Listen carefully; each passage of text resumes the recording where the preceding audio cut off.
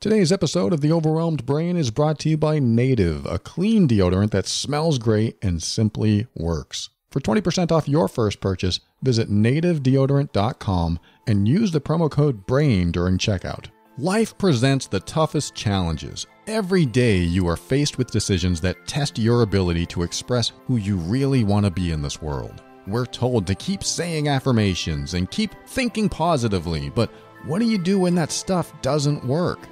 Welcome to the Overwhelmed Brain, where you'll learn to make decisions that are right for you so that you can create the life you want now.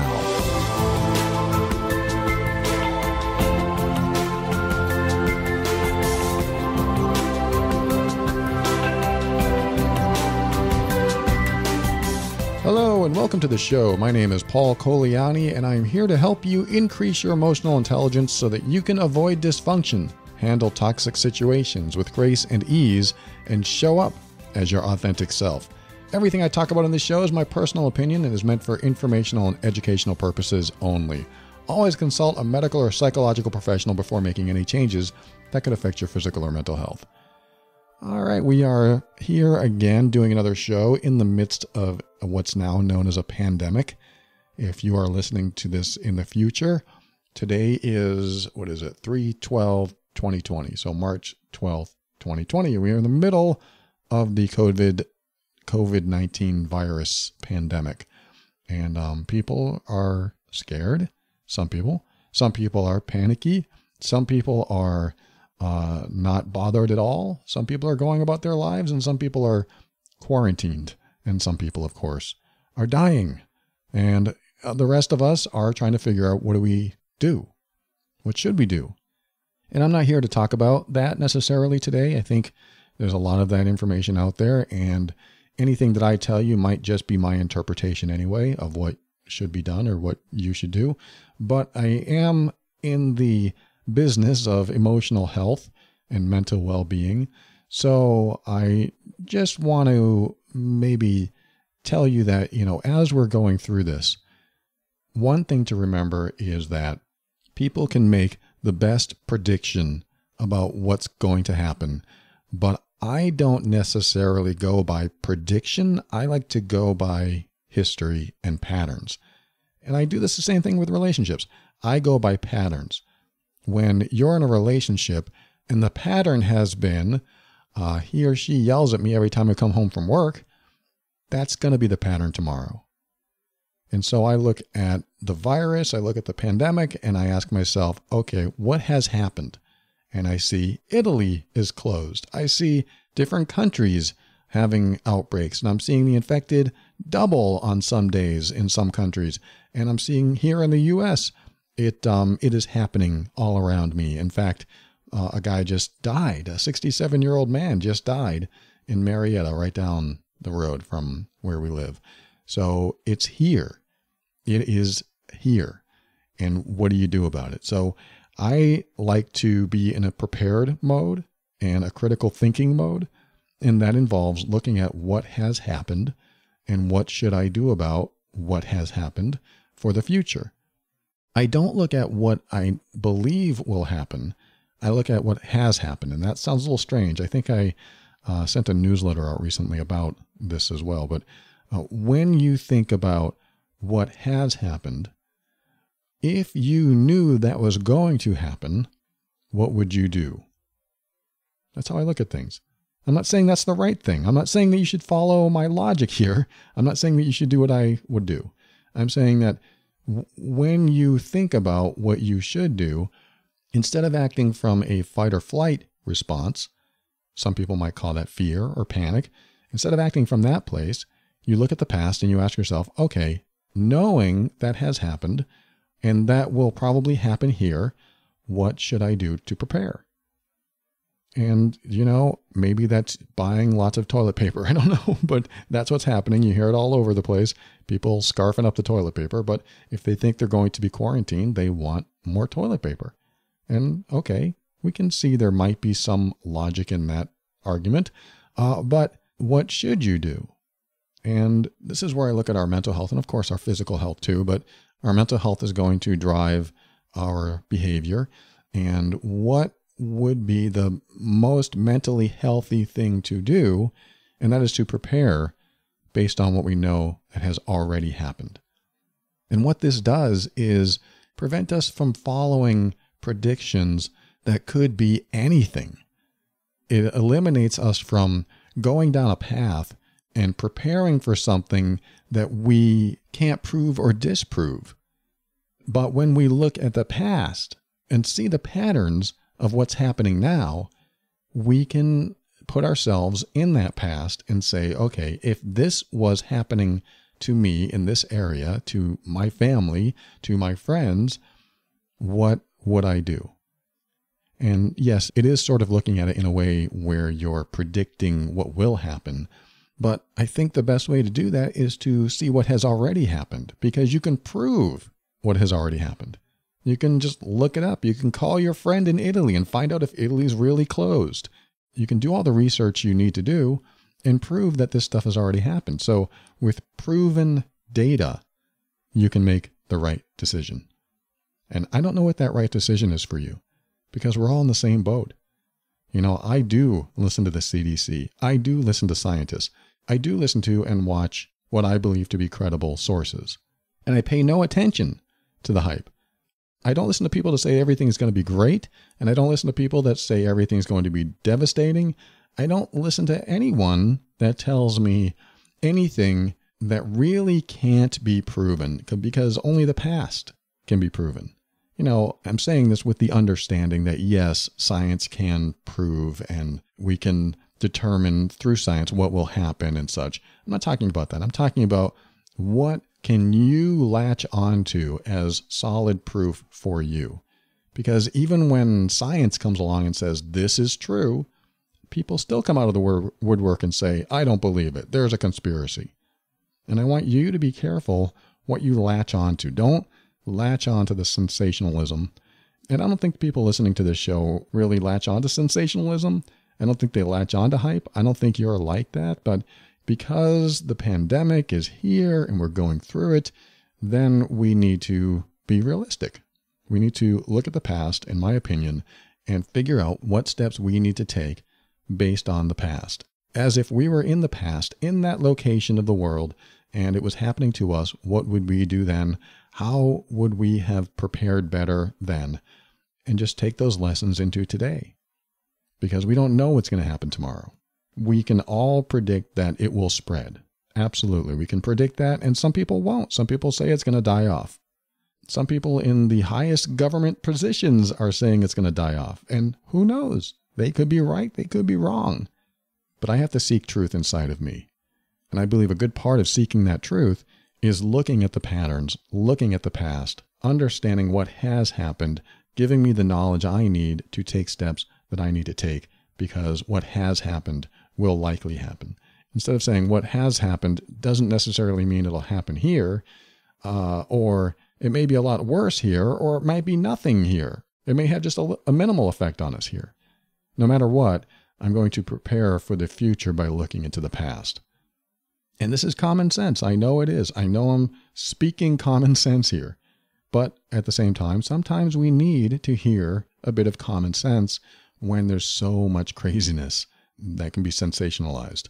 And I'm not blaming media either. A lot of people blame media, but really, we are responsible for how we take the information and what we do with it.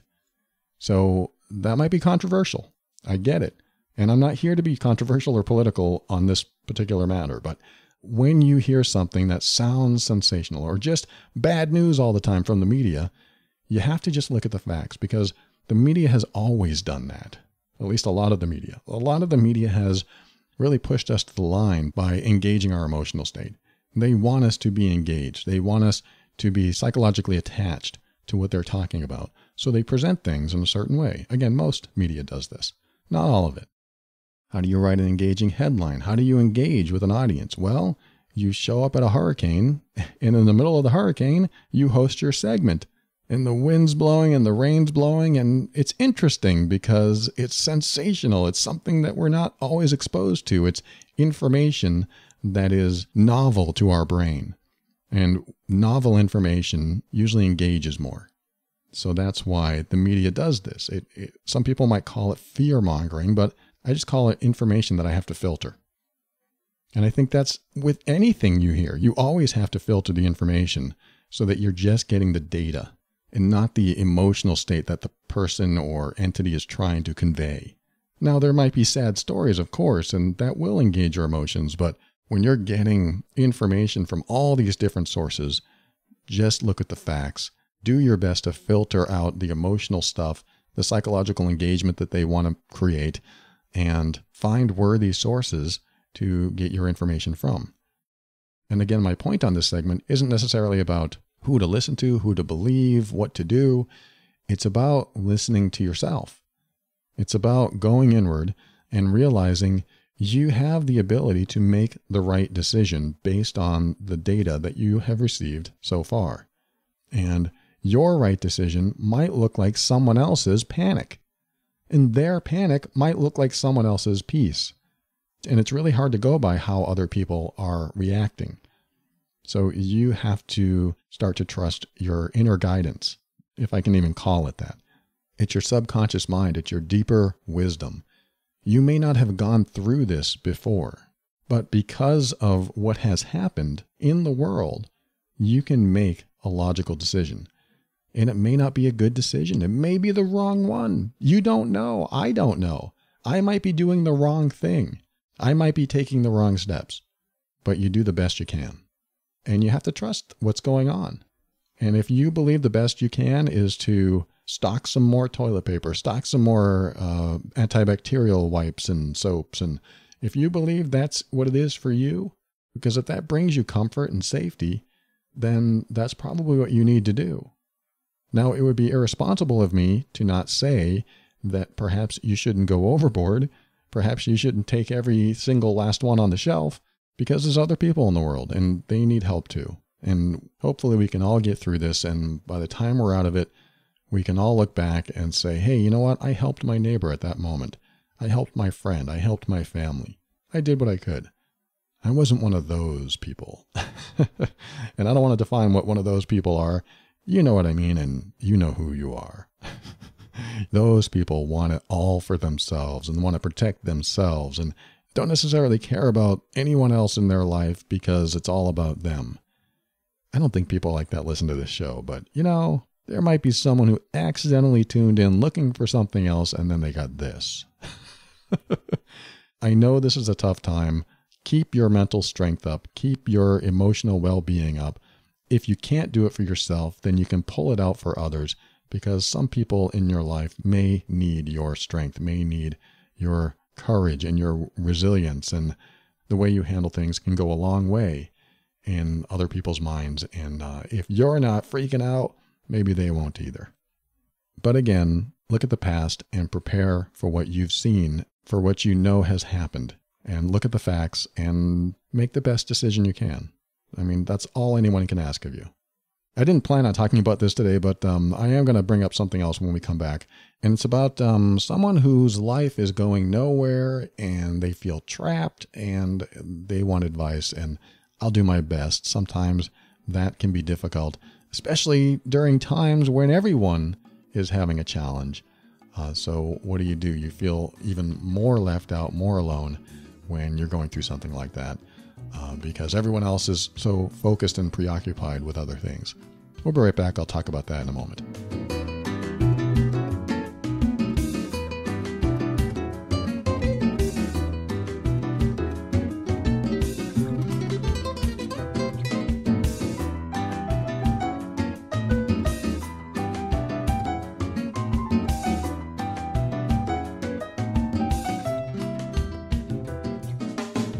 So, talk about taking care of yourself and your loved ones. Um, this is the perfect time to talk about native deodorant.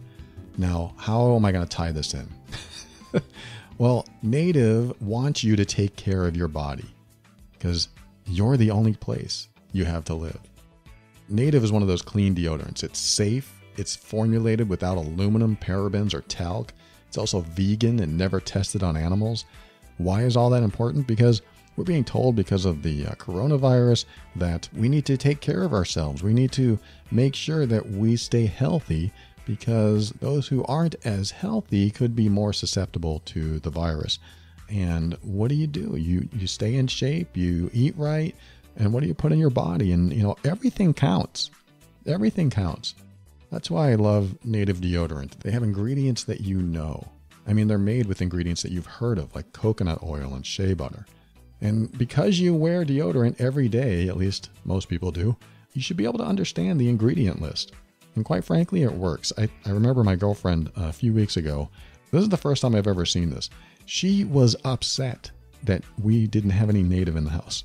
And uh, she said, You have to order more native. And this is a true story. She she told me, "Have you ordered it yet?" And she kept getting on my back, getting on my back. Have you ordered it yet? Have you ordered it yet? And I finally said, "Honey, I, I ordered it. I finally ordered it." And I also got you the mini native deodorants, the portable ones that you can take with you. And they, they look like little, I don't even know, like half eggs or something. And uh, they come in all these different scents, like um, coconut and vanilla, which is her favorite, lavender and rose, cucumber and mint, eucalyptus and mint. I think we got four of them. And each one is a different scent, so she gets to try them all. And um, she won't use anything else. She will only use native deodorant. She loves it. So they have something for everyone. It comes in a wide variety of options for men, women, and even teens. They also have an unscented option, like the baking soda free formula for those with sensitivities. There's no risk to try, free shipping on every order, and Native offers 30 day free returns and exchanges in the USA. I want you to check out Native. Go to nativedeodorant.com, and when you check out, use the promo code BRAIN during checkout. You'll get 20% off your first purchase. That's nativedeodorant.com using the promo code BRAIN during checkout to get that 20% off your first purchase. Don't even listen to me. Listen to my girlfriend or listen to the 9,000 five star reviews from happy customers who made the switch to native. Nativedeodorant.com. Use the promo code BRAIN. Get your 20% discount today.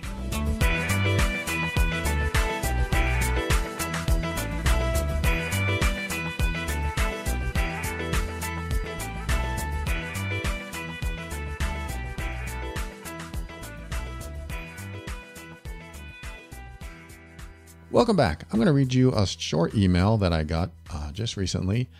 Uh, this person, I'm going to call him Joe. Joe says, I listen to your podcast and they help me on a daily basis. I've been dealing with a dead end job and heavy anxiety, and I keep falling back into the same loop where I feel like my life is going nowhere and I'm failing myself and my loved ones, and it leads me to using drugs to help me deal with things. I feel lost and trapped in this vicious circle. Any advice you could give me uh, would be much appreciated. Okay, Joe, thank you for that email. Thank you for sharing that. Um, there are some details that I probably could use to help you uh, determine, or at least help me determine what I could, you know, offer you for advice. But one of the first things that sticks out, there's always something that sticks out to me, is uh, something you said about being in a dead end job. My first question do you even like your job? You know, I know it's a dead end job and that means different things to different people, but do you like your job? I'm going to guess no. You know, that's one of the details I don't know, but I'm, I'm going to assume you don't like it. Somebody in a, a job they love is probably not going to call it a dead end job, but they might, they might, they might say, well, you know, I work at this thing and I do it every day and it's not going to take me anywhere, but I love doing it. And so there, there can be that out in the world. Jobs that you might call a dead end job meaning who knows? That could mean that you can't go anywhere with it. You can't um, get a raise. You can't get promotions. You can't get uh, moved into different departments or positions. Who knows? I mean, maybe you mean that. Or maybe you just mean, I hate this job and I can't wait to leave it because it sucks. and if that's the case, my question to you is Is there anything you like about it? You know, I, I asked the question, Do you like your job? I'm going to assume no. Is there anything you like about it?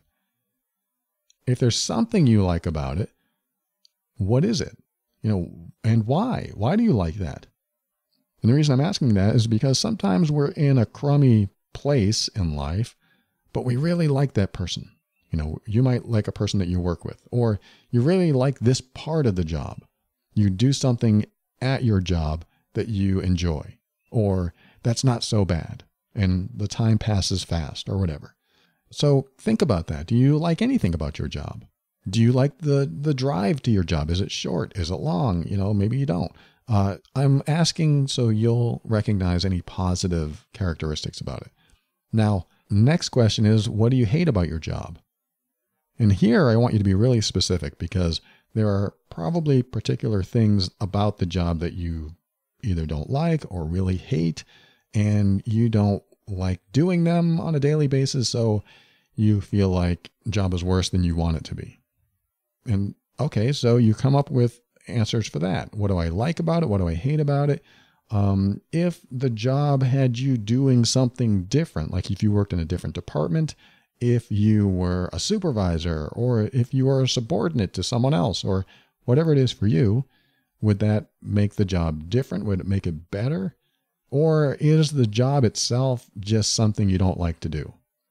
If you're tarring roofs in Florida in the hot sun with black tar or black top, whatever they call it, maybe you just can't stand it. You can't stand being in the heat. You can't stand um, all the hot tar, and you just want to get away from that. It could be just the job itself. So uh, I'm just helping you identify components that you don't like and that you do like. The reason I'm saying that is because sometimes we're stuck in a dead end job that there's something about it that we really don't like and we don't say anything. And when you don't say anything, you don't change anything. I've been in dead end jobs. I've been in jobs that I really knew I wasn't going anywhere and I didn't like the job. I didn't like some of the people and on and on. There are things that I liked and things that I didn't like, but I really didn't like it because I never spoke up about what I didn't like. And I think some of us go through life not honoring what we're thinking and feeling inside, and we don't choose to stand up for ourselves and say something because we're afraid. We're afraid of what might happen. We might get fired. We might not have a paycheck next week. Uh, people might be disappointed in us. And so we have all these fears that are externally based that have nothing to do with how we feel inside. All these fears, I mean, they're related, of course. You know, my fear of getting fired has something to do with the fact that I hate this part of my job. That's related, but what's really happening inside of you and people that go through this is that we don't want to stand up and honor ourselves and say what we really want. A lot of people have a hard time doing that. This is what I would like. That's a good way to ask for what you want. This is what I would like. I find this part of my job grueling and it makes me unhappy. And I would like to keep this job, but I don't want to do this part of the job anymore. Your boss might say, Well, that's too bad because that's the job. And if you don't like it, you're going to have to leave. And that might be what happens. But let me tell you what happens inside of you when you ask for what you want. You end up lining up with your integrity, your dignity, you build your character, you strengthen your self worth, you strengthen your self esteem. You get into complete synchronicity with who you're supposed to be. And that's tough. I mean, it's great, but it's tough because what you're doing is you're going against the grain. You're going against the system. The system is keep your eyes on your screen and keep your suggestions to yourself. I've been told this. I've been told this at a job that I felt was a dead end job. And I decided to stand up and ask my supervisor, hey, can we do this instead? Because it would help our job, it would help our morale, it would help our customer service. Can we do this instead? Can I offer this suggestion? Can I do it for us? Can I create this system so we have something in place that helps the staff, that helps the team? And I was told, you're better off keeping your eyes on your screen and your suggestions to yourself. You realize that completely crushed me. It crushed me. Hey, Paul, you said you're supposed to stand up for yourself and ask for what you want. I did. But when I heard that feedback, it was devastating because I felt stuck. And this is what happens when you stand up for yourself. You're going to get denied. Not always. I mean, most of the time, hopefully not. But it's going to happen. When you stand up for yourself, you're going to get rejected. You're going to get denied. You're going to be told why that's not feasible and what you should do instead. And how you land and get back on track will be what either strengthens or weakens you from that point on. And I really had to sit with those words. You just keep your eyes on your screen and your suggestions to yourself. I had to sit with those words at my desk and contemplate what I had to do next. And this was a time when I needed money. I was married. We were homeless. We were living in her mom's tiny little apartment and we had no money, literally. And this was the only source of income. And I had just started three weeks ago. So I didn't even think I got my first paycheck yet. And here I am sitting in this desk in this giant office, bunch of cubicles. Uh, not that that's a problem, but I just felt like a number. I just felt like I didn't matter. And for the first time in maybe my life, I looked at my circumstances and decided to honor myself over my circumstances. And it sounds a little weird, and I'm probably not saying it right, but I looked at who I was inside and who I wanted to be and how I wanted to show up in the world and decided that was more important than any outcome that could come out of this. That is tough. that is so tough to follow because it's a risk. You take a huge risk when you stand up for yourself.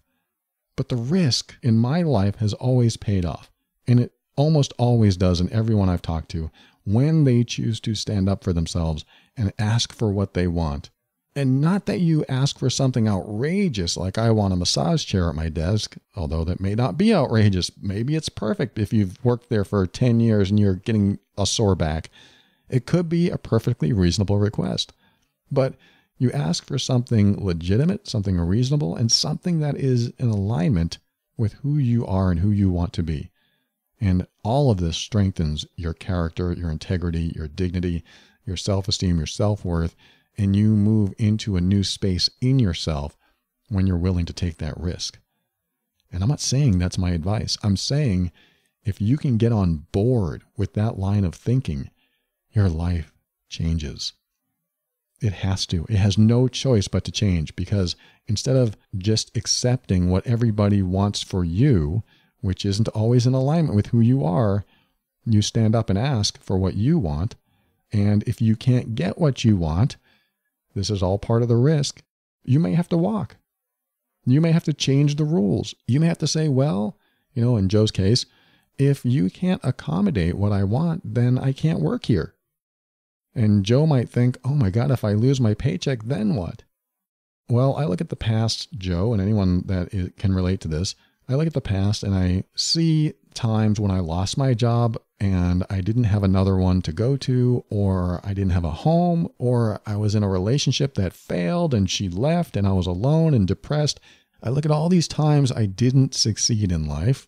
And in fact, I look at the times that I was just completely devastated and knew in those moments that I wouldn't be able to get through it, but somehow I managed to, and somehow I'm here today these are my references. This is what happens when you're nearing 50 is that you've experienced so much in life that you realize you're going to get through it.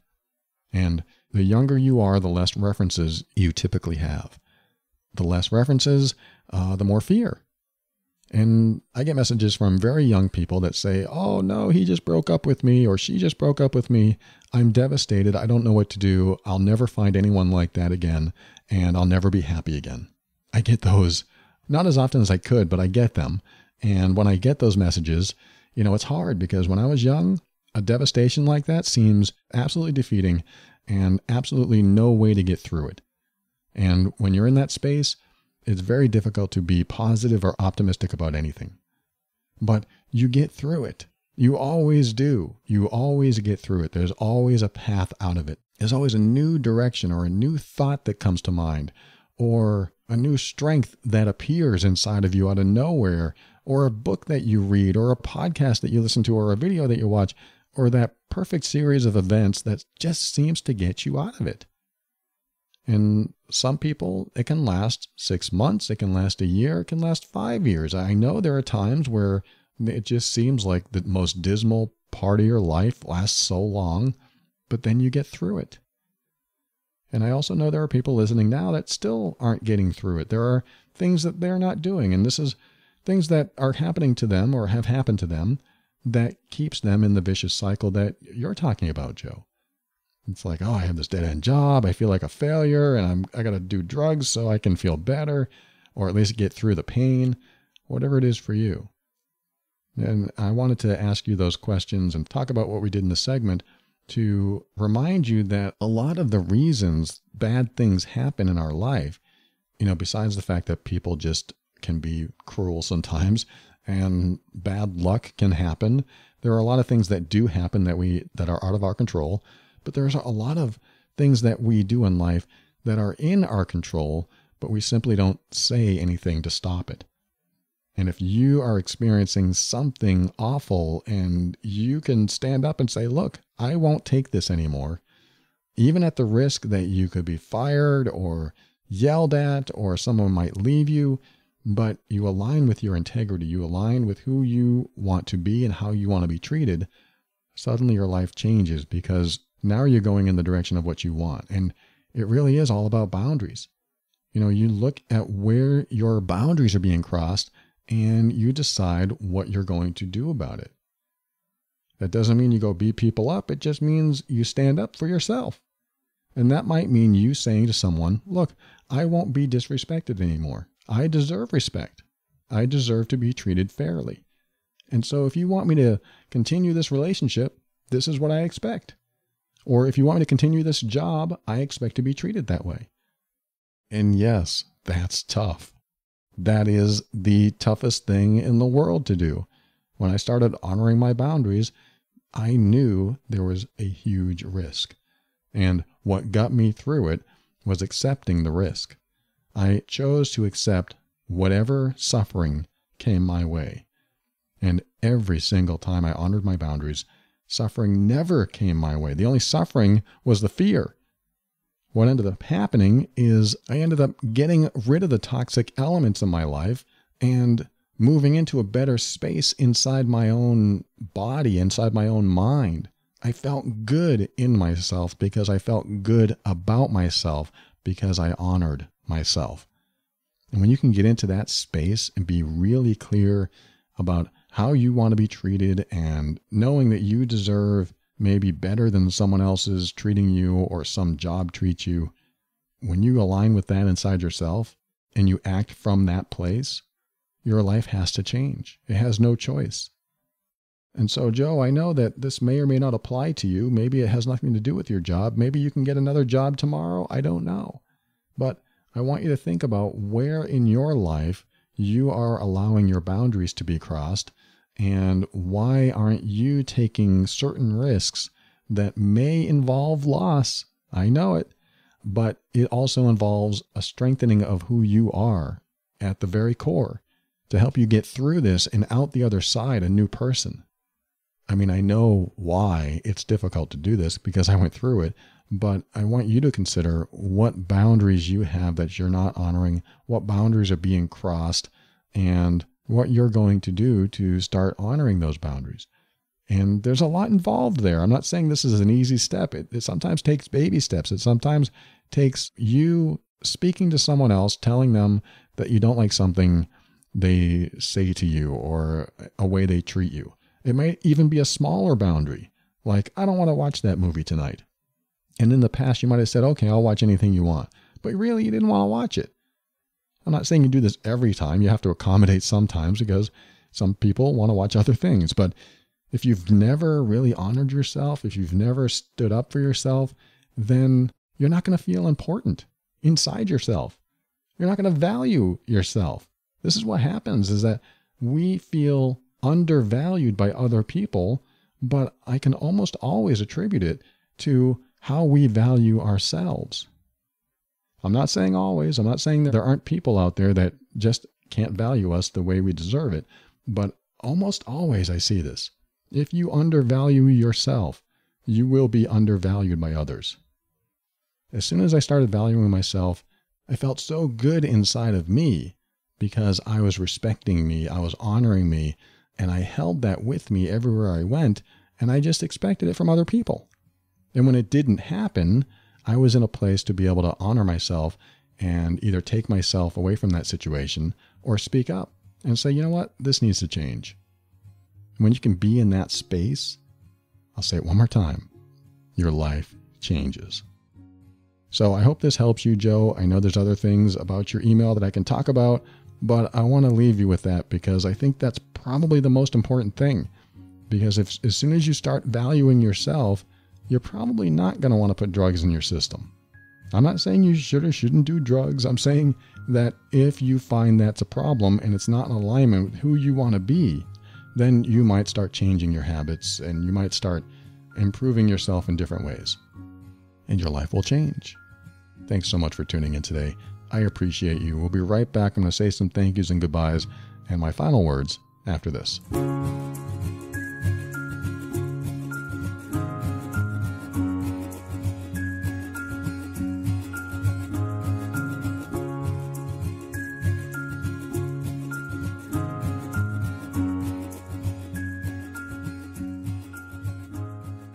Thank you for listening to another episode of The Overwhelmed Brain. I want to thank Native Deodorant. Go to nativedeodorant.com forward slash brain and get 20% off your first purchase. And I want to tell you, I just found this out.